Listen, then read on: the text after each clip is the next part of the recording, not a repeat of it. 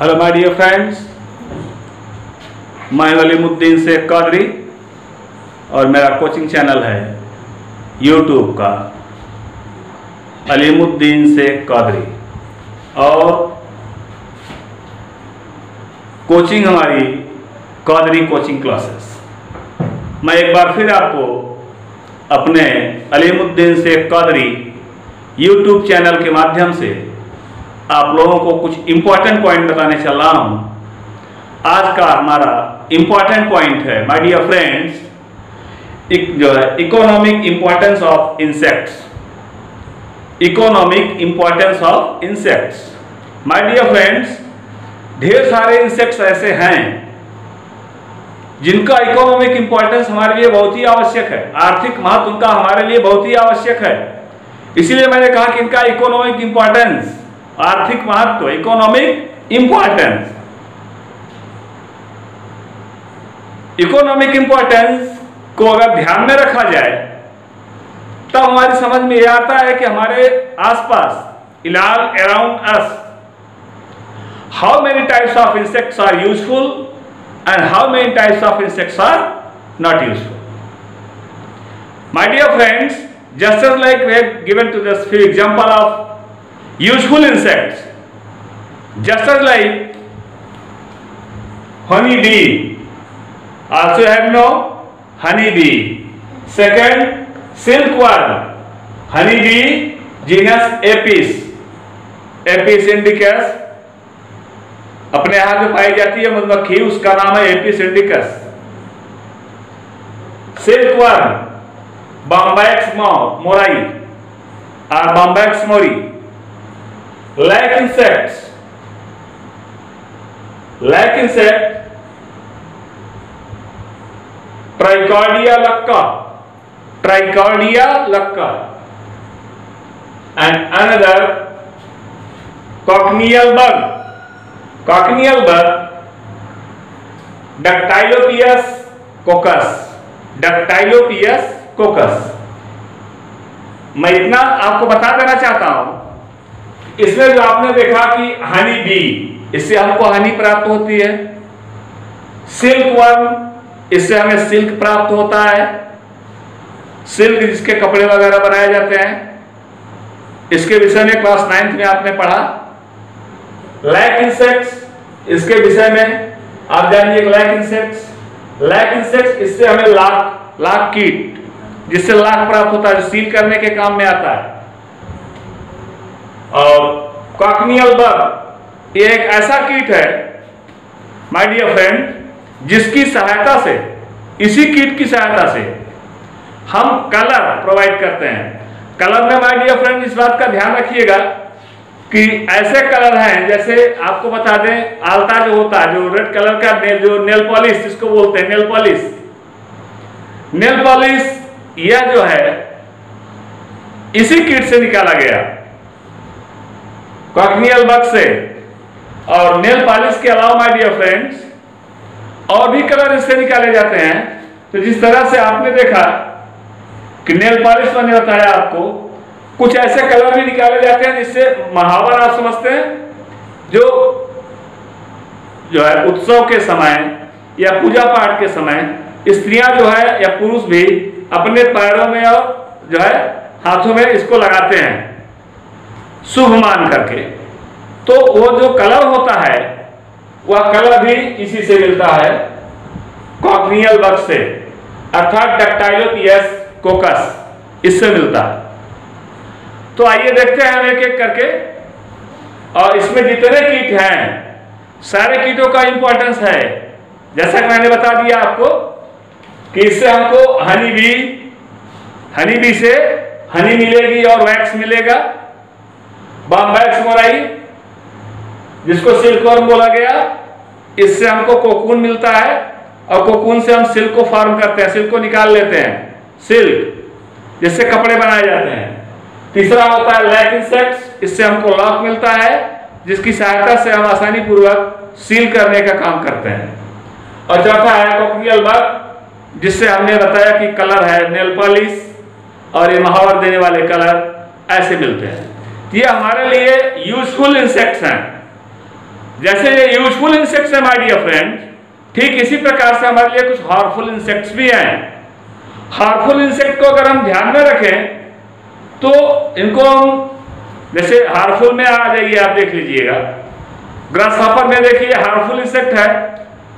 ये सिंपली हमारे यहाँ जो बॉर्ली है, जौ और बजड़ा बाजरा जिसको बोलते हैं, इनकी पत्तियों को आसानी पूर्वक खा ले जाते हैं। जब इनकी पत्तियों को खा ले जाएँगे पौधे का विकास अवरुद्ध हो जाएगा। ठीक इसी प्रकार से ढेर सारे कीट ऐसे हैं। आपने देखा गेहूँ को आप रख देते हैं तो उसमें घुन लग जाता है। जो घुन लग जाता है, यही एक प्रकार का कीट है जो गेहूँ को नुकसान पहुंचाता है। तो इस तरह से पेड़ों में आपने देखा हानिकारक कीट लग जाते हैं तो बड़े बड़े पेड़ जो सूख जाते हैं। तो कीटों की ये दो वेराइटीज होती हैं, एक तो यूजफुल होते हैं, दूसरे हार्मफुल होते हैं। तो आज हम आपको बता रहे हैं जो यूजफुल इंसेक्ट्स हैं, वो किस तरह से हमारे लिए लाभदायक हैं। यूजफुल इंसेक्ट में आइए, देखते हैं। इसके पहले मैंने क्लास नाइन्थ बेस का जो है डिस्कस करके अपने यूट्यूब चैनल पर अपलोड किया है। अब आइए आज क्लास अलेवंथ और ट्वेल्थ बेस का मैं आपको टॉपिक बताने चल रहा हूँ। और हमारा अनुमान होगा इकोनॉमिक इंपॉर्टेंस ऑफ़ इंसेक्ट्स कि इंसेक्ट्स के, अर्थात कीटाणुओं के, जो कीट हैं, कीटों के आर्थिक महत्व क्या क्या है? इकोनॉमिक इंपॉर्टेंस क्या क्या है? अर्थात आज हम लाभदायक कीटों के विषय में स्टडी करेंगे। माय डियर फ्रेंड हानिकारक कीटों के विषय में मैंने बताया कि पेड़ों के लिए ये नुकसान पहुँचा रहे हैं। ग्रास हॉपर है पत्तियों को नुकसान पहुँचा रहा है। हाउस फ्लाई है। ये घरों से जो है, घरों में विभिन्न प्रकार की disease different types of diseases को स्प्रेड कर रही हैं, फैला रही हैं। तो ये डिजीजेज जो आ रही है इंसेक्ट्स ये हार्मफुल इंसेक्ट्स हैं। फली छेदक कीट आपने नाम सुना होगा। जब फल तैयार हो जाता है तो उसमें होल करके उस फल को खा ले जाते हैं। ये हार्मफुल इंसेक्ट्स हैं, जो फार्मर के लिए बहुत ही नुकसानदायक क्रिया करते हैं। तो माय डियर फ्रेंड मैं आपको यहाँ पर आगे आपको बताने चल रहा हूँ honey bee means Apis indicus Apis indicus ध्यान रहे, यह एक लाभदायक कीट है। मधुमक्खी इंसेक्ट में आता है, फिर भी यह लाभदायक है। तो इसमें यह लाभदायक क्यों है? मैं इसके विषय में थोड़ा सा आपको नॉलेज देना चाहता हूँ, आपको समझाना चाहता हूँ कि लाभदायक क्यों है। तो इसको अगर आप उतार लिए हो तो फिर हम आगे बढ़ते हैं। आइए देखते हैं, हमारा अगला टॉपिक जो है, इसमें लाभदायक जो कीट है हनी बी इसके विषय में मैं आपको बताना चाहता हूँ। हनी बी पहले तो आप सबसे पहले ये समझ लीजिए कि इनका प्रोटेक्शन इतने हाई क्वालिटी का प्रोटेक्शन होता है। आज ऑल ओवर वर्ल्ड में किसी कंट्री ने ऐसा प्रोटेक्शन अपने प्रेसिडेंट के लिए नहीं दिया है। जितना प्रोटेक्शन अपने क्वीन के लिए देते हैं, जितना प्रोटेक्शन अपने क्वीन के लिए देते हैं, इनमें हनी में हनी कोम में एक क्वीन होती है क्वीन जिसकी लेंथ जो होती है 15 टू 20 सेंटीमीटर लॉन्ग होती है। और वो जो है सबसे ज़्यादा अंडे देती है, एक बार में जो है बीस हज़ार अंडे देती है। तो जो ये बीस हज़ार अंडे अगर दे रही है आप सोच सकते हैं कि एक साल में कितने अंडे देती होगी। माय डियर फ्रेंड्स जितने इससे अंडे निकलेंगे, उसी के साथ अंडों के बेस पर ये जो है इनके जन्म लेते हैं, इनसे छोटे छोटे जो है इंसेक्ट्स और ये क्या कहते हैं? सबसे पहले तो मैं आपको बता दूँ कि मधुमक्खी ये हमारे लिए सबसे ज़्यादा इंपॉर्टेंट इसलिए है कि इससे हमको वैक्स और हनी दोनों मिलते हैं। शुद्ध मोम मिलता है और शुद्ध हनी मिलती है। इसीलिए इसको हम जो लाभदायक कीट की श्रेणी में रखते हैं। दूसरा यह होता है कि अगर ये नेचुरल है तो सोफार सो गुड अगर नेचुरल नहीं है तो आर्टिफिशियल बेस पर भी हम इनका पालन कर सकते हैं। आज गवर्नमेंट हमारी जो है, किसानों को इसका मधुमक्खी पालन का पूरी तरह से उनको मधुमक्खी पालन करने के लिए प्रेरित कर रही है, जिससे वो आसानी पूर्वक अपना जीवन यापन कर सके। तो मैं आपको थोड़ा सा इंपॉर्टेंट पॉइंट बताना चाहता हूँ। कि प्रतिवर्ष लाखों टन, प्रतिवर्ष जो है वो लाखों टन शहद प्राप्त किया जाता है। माय डियर फ्रेंड इसमें यह जानना आवश्यक है कि अगर हमको एक किलोग्राम ओनली वन के जी हाउ मेनी के जी ओनली वन के जी एक किलोग्राम शहद को प्राप्त करने के लिए एक मक्खी को दस लाख बार कितना कहा मैंने दस लाख बार। एक मक्खी को दस लाख बार चक्कर लगाना पड़ता है। अगर एक मक्खी एक किलोग्राम मध को सिले बनाने के लिए दस लाख बार चक्कर लगाएगी, अब ये चक्कर लगाने की स्थिति उसकी डिस्टेंस के ऊपर डिपेंड करती है। ध्यान रहे, उसकी डिस्टेंस के ऊपर डिपेंड करती है। अगर डिस्टेंस दूर है फार तो ये चक्करों की संख्या कम हो जाएगी। और डिस्टेंस नज़दीक है तो चक्करों की संख्या बढ़ जाएगी। और ज़्यादातर ये अपना चक्कर लगाती है उन समय, जिस समय फ्लावरिंग होती है प्लांट्स में फ्लावरिंग ज़्यादा होती है, उस समय इनके इंसेक्ट्स काफ़ी ज़्यादा मात्रा में वर्क करते हैं हनी की हनी के। तो इसमें आपने देखा कि जो मैंने बताया, आपने प्लांट्स को देखा, इसमें जो है इंसेक्ट्स ग्लैंड्स हैं मकरंद ग्रंथियाँ। जब ये जाते हैं, वहाँ से ये मकरंद को चूसते हैं सक करते हैं और अपनी ग्लैंड्स में फिक्स कर लेते हैं और ले आकर के हनीकॉम में छोड़ देते हैं। कौन छोड़ देता है? There are three types of insects first पहला मैं बता रहा हूँ, पाले जो होते हैं वर्कर होते हैं। दूसरे जो होते हैं ड्रॉन होते हैं। वर्कर हो गए ड्रॉन हो गए। और तीसरे जो होते हैं, वे क्वीन हैं। ये क्वीन हो गई मोस्टली ये थ्री टाइप्स दिखाई गए। अब इसमें इनके कार्य की, श्रम विभाजन के लिए, इनको डिफरेंट पार्ट में डिवाइड किया गया। तो आइए देखते हैं कि इनके डिफरेंट पार्ट में डिवाइड किया गया है। तो संयुक्त राज्य अमेरिका। संयुक्त राज्य America 25 crore pound 25 crore pound इतना शहद प्रतिवर्ष जो है एक वहाँ पर उत्पन्न होता है। इतना शहद। 25 करोड़ पाउंड शहद प्रतिवर्ष वहाँ उत्पन्न होता है। अब इस शहद को आर्टिफिशियल बेस पर उत्पन्न कराते हैं नेचुरल बेस पर। नेचुरल बेस का मतलब यह हो गया मधुमक्खियाँ स्वयं जाकर के कहीं ना कहीं अपना छत्ता लगा लेती हैं। और वहाँ पर ये वर्क करती हैं। तो माय डियर फ्रेंड्स तो यहाँ पर जान लेना बहुत ही आवश्यक हो जाता है कि किस प्रकार से मधुमक्खियाँ अपना वर्क करती हैं। तो आइए देखते हैं। सबसे पहले सबसे पहला पॉइंट मैं आपको बताने चल रहा हूँ कि ये मक्खियाँ जो होती हैं, सबसे पहले तो ये एक सामाजिक कीट है। क्या है ये? यह एक सामाजिक कीट है। मधुमक्खी क्या है? एक सामाजिक कीट। सामाजिक कीट उसे कहा जाता है, इससे समाज को लाभ मिले। समाज को जिससे लाभ मिले उसी कीट को हम सामाजिक कीट की संज्ञा देते हैं। तो इसमें जो है, मक्खी में आपने देखा है, एक को रानी मक्खी कहा गया क्वीन कहा गया, दूसरे को ड्रॉन कहा गया, नर मक्खी कहा गया, और तीसरे को श्रमिक कहा गया वर्कर कहा गया। ध्यान दीजिएगा माय डियर फ्रेंड्स रानी मक्खी की विषय में बता रहा था क्वीन के विषय में बता रहा था। क्वीन की लंबाई जो होती है 15 से 20 सेंटीमीटर लंबी होती है और ये लगभग सामान्य मक्खियों की तुलना में तीन गुना ज़्यादा बड़ी होती हैं। सामान्य मक्खियाँ जो और भी मक्खियाँ पाई जा रही हैं, इन मक्खियों की तुलना में इसकी लंबाई जो होती है, वो तीन गुना ज़्यादा होती है। माय डियर फ्रेंड्स अगर इसकी लंबाई तीन गुना ज़्यादा होती है तो और इनका जीवन काल जो होता है, वो पाँच वर्ष का होता है फाइव ईयर्स लाइफ स्पान इनका मिनिमम देखा गया वो फाइव ईयर्स होता है। और ध्यान दीजिएगा कि ये एक बार में दो हज़ार अंडे, एक बार में दो हज़ार अंडे देती हैं। और अपने पूरे जीवन काल में फिफ्टीन लैक्स पंद्रह लाख अंडे देती हैं। अपने पूरे जीवन काल में, पूरे जीवन काल में एक बार में दो हज़ार, एक से, और दस से बीस हज़ार। दस मक्खियों से ट्वेंटी थाउज़ेंड।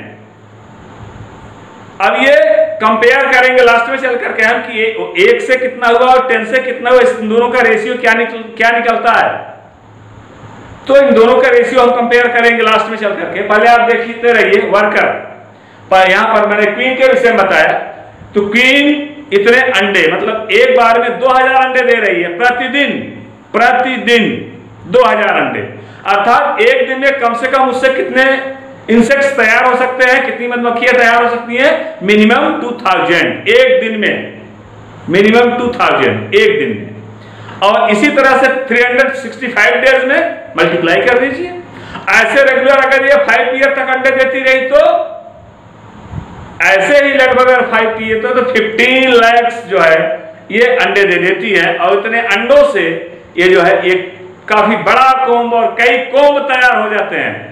तो इतने कोम्ब को, इतनी मक्खियों से लगभग टेन कोम्ब तैयार होते हैं। इसीलिए मैंने पहले ही बताया आपको कि अगर ये टेन कोम्ब तैयार हो गए तो मिनिमम जाकर के मिनिमम क्वांटिटी मैं बता रहा हूँ, टेन कोम्ब तैयार हो गए और टेन कोम्ब तैयार हुआ तो एक मक्खी अगर 2000 अंडे दे रही है तो टेन मक्खियाँ हुई तो टेन क्वींस हुई तो टेन क्वींस कितना देंगी? Twenty thousand. Twenty thousand per day होगा इनका। टेन क्वींस का और सिंगल क्वींस का टू थाउज़ेंड तो सिंगल क्वींस को अगर लेकर के हम आगे बढ़ते हैं तो ये आसानी पूर्वक ये स्टडी कर लेते हैं और देख लेते हैं कि इससे ज़्यादा से ज़्यादा हनी हमको मिल रही है। और ये देखिएगा, इस क्वीन के पास सपोज़ दैट यहाँ पर ये क्वीन है। एक कोम्ब है, इस कोम्ब में यहाँ पर ये क्वीन के रानी का प्रोटेक्शन है। और इस रानी के प्रोटेक्शन में इस तरह से आपने देखा, ये ब्रांचेज है और ब्रांचेज में यहाँ पर इस तरह से कोम्ब लगा हुआ है। इस तरह से ये कोम्ब लगा हुआ है। ब्रांचेज में इस तरह से कोम्ब लगा हुआ है। ब्रांचेज है, शाखाएँ हैं, इस पर ये कोम्ब है। यहाँ पर ये कोम्ब ऐसे चैम्बर लाइक स्ट्रक्चर बना हुआ होता है इसमें। मैं अपना इसका फिगर टोटल फिगर आपके अपने यूट्यूब चैनल पर अपलोड कर दूँगा। आप वहाँ पर देखेंगे से जिसमें चैम्बर ऐसे बने हुए होते हैं चैम्बर ऐसे बने हुआ होता है। तो जो चैम्बर बना हुआ होता है डियर फ्रेंड्स इन्हीं छोटे छोटे कोष्टकों को, इन्हीं कोष्टकों को देख करके सबसे पहले सेल का अनुमान लगाया गया था। कि में भी ऐसे छोटे छोटे कोष्टक होते हैं। तो यहाँ पर ये गार्ड कुछ मक्खियाँ होती हैं, जो गार्ड का वर्क करती है, रक्षक का कार्य करती है गार्ड तो जब कोई मक्खी इसी कोम्ब की, ध्यान रहे, इसी कोम्ब की कोई मक्खी, अगर दूसरे कोम्ब की कोई मक्खी आ जाती है, आप सोचते होंगे, एक कोम्ब में लगभग 25 से 30 पैंतीस से पचास हज़ार तक मक्खियाँ देखी गई। मैक्सिमम फिफ्टी थाउज़ेंड तक की मक्खियाँ देखी गई। और ये फाइव थाउज़ेंड के बाद जाते हैं, तभी ये डिवीज़न इनका स्टार्ट हो जाता है। टेन थाउज़ेंड मैक्सिमम जाने पर डिवीज़न स्टार्ट हो जाता है। माने अपने को नई कॉलोनी बनाना स्टार्ट कर देते हैं। तो यहाँ पर ये क्वीन जो अंडे दे रही है 2000 पर डे के रेशियो से उसमें 100 ऐसे अंडे होते हैं जो कि ड्रॉन्स होते हैं। ड्रॉन कहा जाता है नर को। ध्यान रहे, नर का काम ही सिर्फ़ सिर्फ़ और सिर्फ़ होता है कि यह क्वीन को फर्टाइल करना और क्वीन अपने लाइफ में सिर्फ़ एक बार फर्टाइल होती है। एक बार अगर यह फर्टाइल हो गई तो इतने सारे एग्स को स्टोर कर लेती है कि दोबारा इसको आवश्यकता फर्टिलाइजेशन की नहीं होती। My dear friends maximum three year तक एक क्वीन अंडे देती रहती है। थ्री इयर्स के बाद फिर ऐसे फर्टिलाइजेशन की आवश्यकता पड़ती है। तो इसके बीच जितने भी ड्राउन्स आते जाएँगे, पैदा होते जाएँगे हर कौम में उतने ड्राउन्स को ये जो वर्कर्स क्या करती हैं? वर्कर्स उतने ड्राउन्स को मार करके छत्ते से बाहर निकालती जाएँगी। अर्थात उनको छत्ते में उनका कोई काम नहीं होता। क्यों नहीं होता? क्योंकि आर्यल कोटपाल डॉक्टर आर्यल कोटपाल ने अपनी बुक में लिखा कि ड्रोन्स जो होते हैं सौदे होते हैं। अर्थात इनका काम जो है, सिर्फ़ वर्कर के द्वारा लाई गई नेक्टर को, जो कि एक जो है, कहा जाता है शाही जेल। ऐसा फ़ूड जो शाही जेल के नाम से जाना गया, उसको ये पूरी तरह से एक खाती हैं। और ये लाए जाते हैं वर्कर के द्वारा। और उसी को ड्रान भी खाता है। तो ड्रान खा रहा है तो किसका हिस्सा खा रहा है? वर्कर जो क्वीन का हिस्सा खा रहा है। तो जब ये फर्टिलाइजेशन क्वीन का हो जाता है ड्रान को मार करके छत्ते से बाहर कर दिया जाता है। जब ये छत्ते से बाहर हो जाएगा तो धूप के कारण अपने आप मर जाएगा। धूप के कारण ये छत्ते में से बाहर कर देने पर धूप के कारण अपने आप ये मर जाएगा।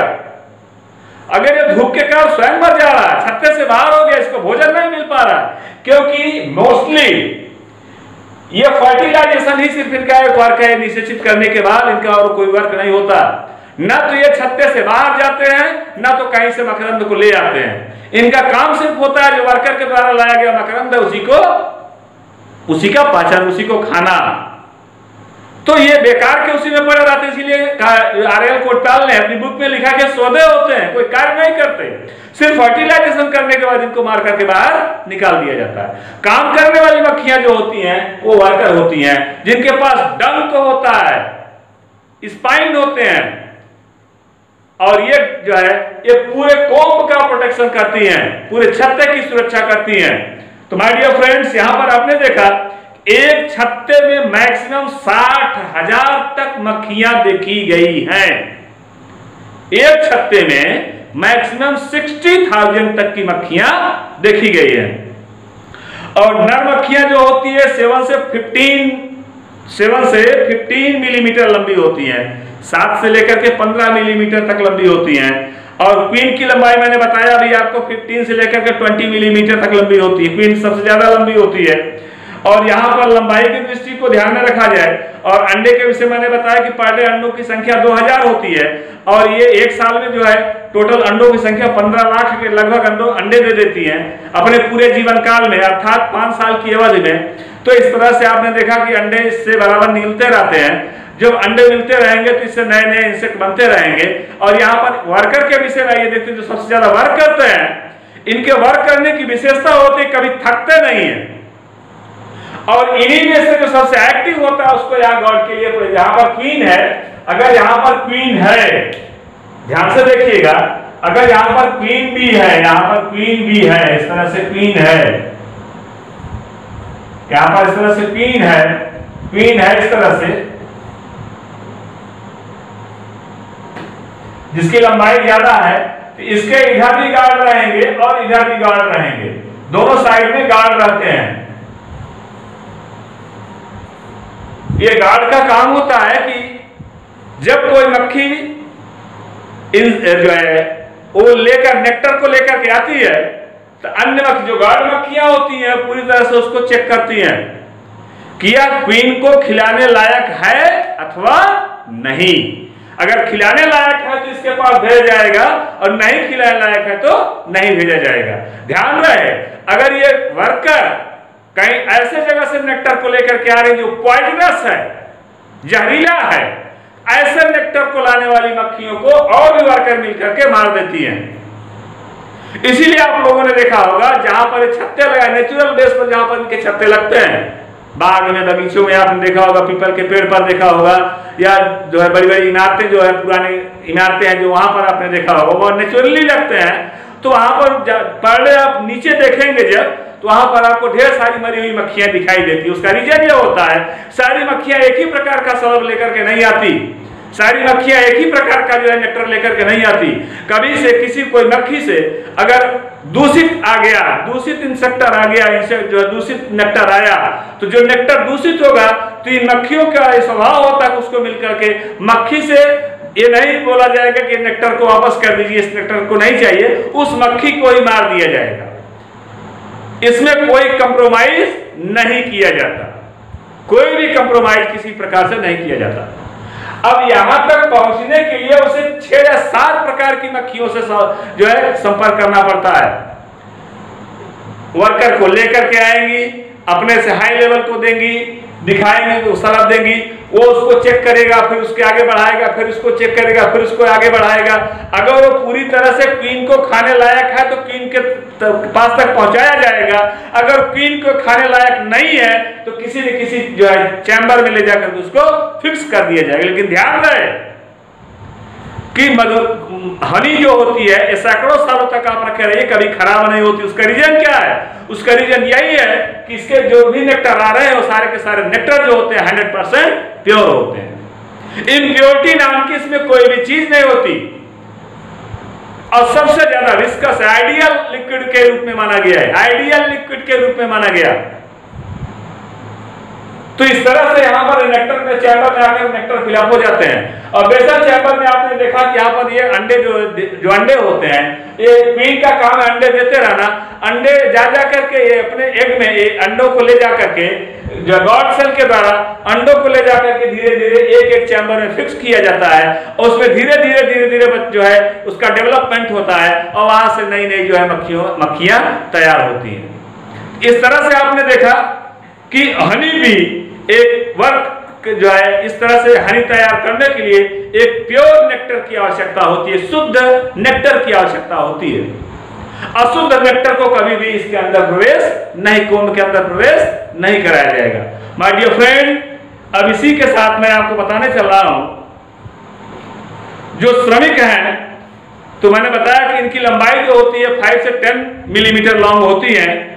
और ये करीब इनके पंख और मुखान बहुत ही मज़बूत होते पंख और मुखान। पंख माने विंग्स और मुखान, मुख के अंग।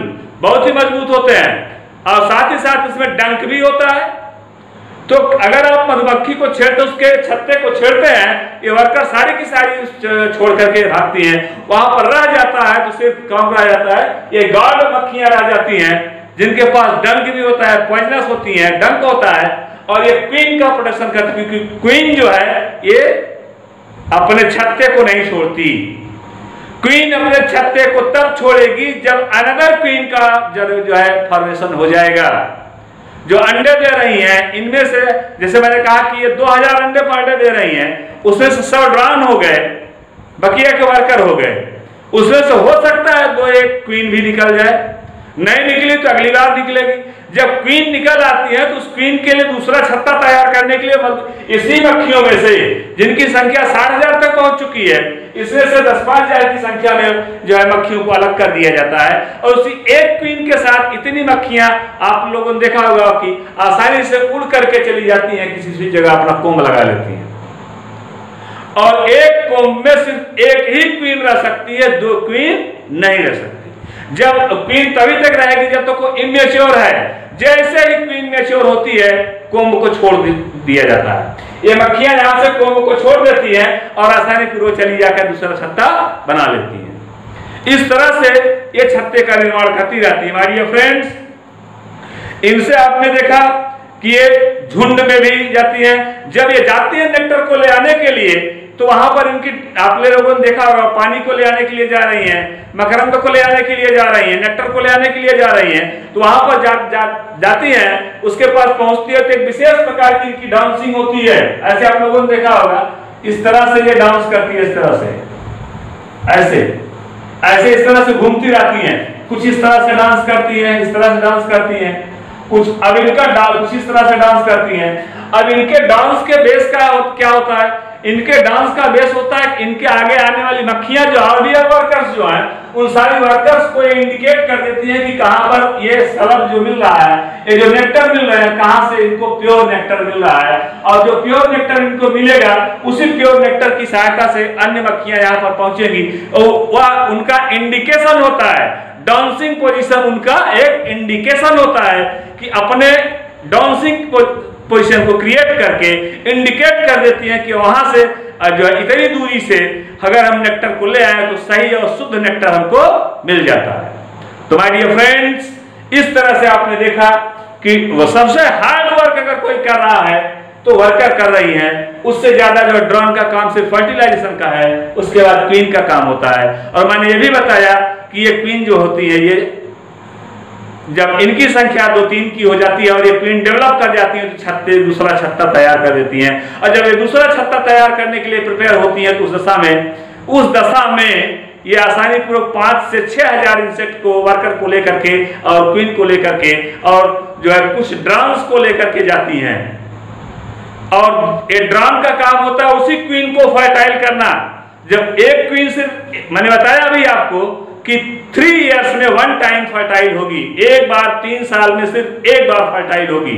और जब तीन साल में एक बार फर्टाइल हो रही है तो इस एक बार के फर्टाइल होने से, एक बार के निश्चित होने से, यह अपना जो है अंडा आसानी पूर्वक जो है 2000 अंडे पर डे के रेशियो से देती चली जाती। इस प्रकार से नए नए कोम बनते चले जाते। आज गवर्नमेंट ने क्या किया? हमको आपको एक केस दे देता है घर जो है, एक कटघरा जैसा केस बना देता है, और उसमें हमको जो है तीन से चार हज़ार पाँच हज़ार की श्रेणी में मक्खियों को देता है और एक क्वीन को देता है।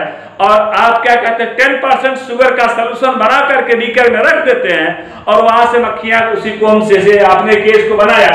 ध्यान दीजिएगा यहाँ पर आपने केस को इस तरह से बना दिया। ये केज आपने बना दिया यहाँ से। यहाँ पर आपने स्टिक को लगाया और यहाँ पर आपने जो है एक जो है जार लिया, इस तरह से आपने एक लिया। यहाँ पर जो शुगर सोल्यूशन आपने किया है, ये टेन परसेंट शुगर सोल्यूशन है और यहाँ पर ये कोम है। क्या है ये? कोम है। अब ये जो कोम है, इसी कोम में मधुमक्खियाँ यहाँ पर पूरी तरह से हैं। अब ये मक्खियाँ यहाँ से आएँगी और यहाँ से जो लेती है, रस को लेती हैं और यहाँ पर जो रस इसको मिल रहा है जो यहाँ पर जो है टेन परसेंट का शुगर सोल्यूशन इसको मिला, फिर लेकर के यहाँ पहुँचती है, फिर यहाँ से आती है, यहाँ से जाती है। और इस तरह से यहाँ पर एक जो है हनी प्रिपेयर कर ली जाती है। ऐसे जो है फार्मर को दो बेनिफिट होते हैं। क्या हमको उससे दो बेनिफिट होते हैं? एक तो फार्मर को हनी मिलती है, एक तो फार्मर को हनी मिलती है, दूसरा जो है फार्मर को वैक्स मिलता है। क्या मिलता है? वैक्स वैक्स मीन्स क्या होता है? मोम। आपने देखा हनी और मोम दोनों ही बहुत ही इंपॉर्टेंट है। ये दोनों मिल जाते हैं। तो इस तरह से जो है ये एक लाभदायक कीट के रूप में आता है। और छत्ता मैंने बताया, और छत्तों के विषय में मैंने बताया कि इनके छत्ते जो होते हैं, बड़े भी होते हैं, छोटे भी होते हैं, और इनकी कई प्रजातियाँ होती हैं। कुछ ऐसी भी प्रजातियाँ जो बहुत ही छोटी होती है, कुछ ऐसी प्रजातियाँ होती हैं जो बड़ी होती हैं। तो बड़ी प्रजातियों से बाकी फ्रेंड्स ये ज़्यादा जो है निकलते हैं। हनी ज़्यादा निकलेगी, कोम ज़्यादा बड़ा रहेगा तो वैक्स ज़्यादा निकलेंगे। ये इससे बेनिफिट होते हैं। ये हमारे लिए बेनिफिशियल कीट हैं। सेकेंड कीट में आइए, देखिए लाइफ साइकिल को मैंने बता ही दिया आपको। और इसकी लाइफ साइकिल को मैं क्रिएट करके अपलोड कर दे रहा हूँ। किनका जीवन चक्र से चलता है, फिर से ये जो है नए मक्खियों को प्रिपेयर कर देते हैं। और इसके बाद रेशम का कीट है। रेशम के कीट को मैंने अभी आपको बताया था सिल्क वर्म जिसको कहा गया बम्बैक्स मोराई। बम्बैक्स मोरी बम्बैक्स मोरी जो होता है, ये सलब कीट बोला गया इसको। ये जो होते हैं सातूत की पत्तियों को खाते हैं, और खा करके जब एक बड़े हो जाते हैं तो एक लार्वा बनता है, इसका नाम होता है कैटरपिलर लार्वा जब ये लार्वल कंडीशन इनकी डेवलप कर जाती है, तब ये आसानी से रोटेट करना शुरू करते हैं, अपने सलाइवा को निकाल करके, और एक कोकून का फॉर्मेशन कर देते हैं, उसी कोकून के अंदर बंद हो जाते हैं। जब ये बंद हो जाएँगे तो किसान क्या करता है, उस कोकून को तोड़ लेता है। उस कोकून को तोड़ करके पहले बॉयल करेगा। बॉयल करने के बाद इनके इंसेक्ट जो है उसके अंदर मर जाते हैं। कुछ को छोड़ दिया जाता है, जो नए, कुछ को काट करके बाहर निकाल लिया जाता है, उससे नए जो है सिल्कवर्म तैयार किए जाते हैं। और बकिया के जो है उसमें बॉयल करने के बाद मार दिए जाते हैं। फिर उनसे रेशों को एक एक कर रेशों को निकाल करके अटेरा में उसको जो है लपेटते जाते हैं, लपेटते जाते हैं। इस प्रकार से ढेर सारे जो है रेशम आसानी से मिल जाते हैं रेशम कीट से। और आपने देखा कि रेशम कीट या जो है कैटरपिलर लार्वा इसकी इंपॉर्टेंट कंडीशन होती है। और ये मोस्टली पत्तियों को खाते हैं, हरी पत्तियों को खाते हैं सातूत की पत्तियों को खाते हैं और अपने जीवन यापन को पूरा करते हैं। लॉक कीट में आपने देखा लॉक कीट एक ऐसा कीट होता है जिससे लॉक प्रिपेयर होता है लॉक लॉक जो है इससे बनता है लॉक जो सील करने के काम में आता है लॉक कीट बोला जाता है उसको। सील करने के काम आता है।